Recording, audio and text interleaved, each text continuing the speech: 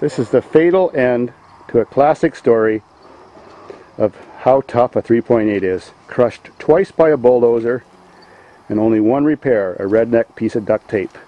Let's see if we can kill a Buick. Well, as you can see, there ain't much left and she ain't what she used to be. But ashes to ashes and rust to rust. Let's see if this thing fires up. We got a battery in, redneck gas tank. It's stuck in drive. I think it's got a little bit too much friction to go by itself. So, here we go.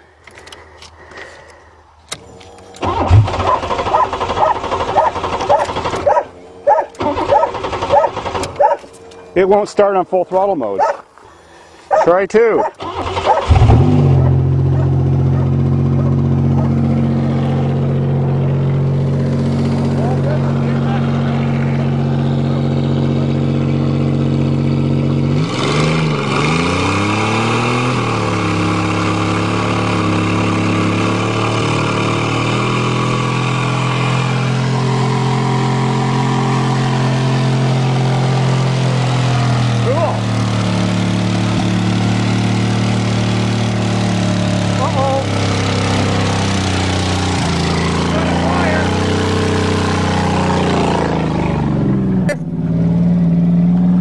keep filming.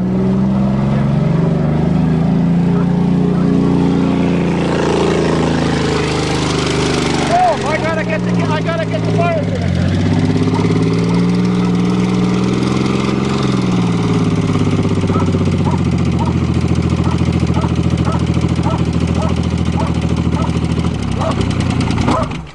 Whoa, come here. The Buick has officially died on fire but dead.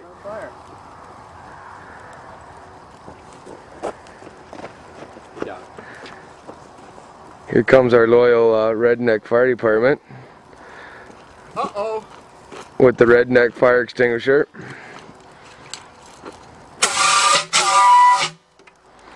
That wasn't supposed to happen. Buick died. Like, why did this happen? The motor's not even blown. I don't have much left since the Cressida. They didn't take long at all. The motor's not blown. For no, some reason it caught fire. Not on fire.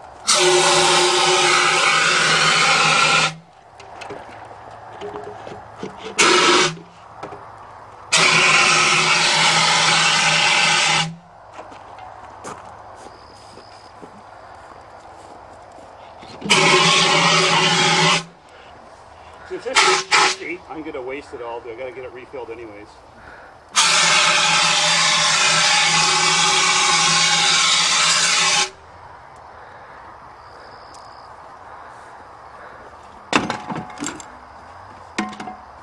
Oh well. My other motor blew, blew too with fire, you know? Yeah. And we didn't plan it. Why did it fire from the middle? Wasn't it fire from the front? There was tranny oil blowing out or something. Look. It was on fire when it was leaking. For some reason, all that tranny oil or whatever's leaking underneath caught fire off the hot exhaust. And I guess that's why it caught fire. We didn't even blow a tire yet. Oh. It sucks. I guess you can't kill a Buick 3.8. Well, maybe I got to get some more exhaust. I mean, some more uh, stuff down there. Squeeze the trigger.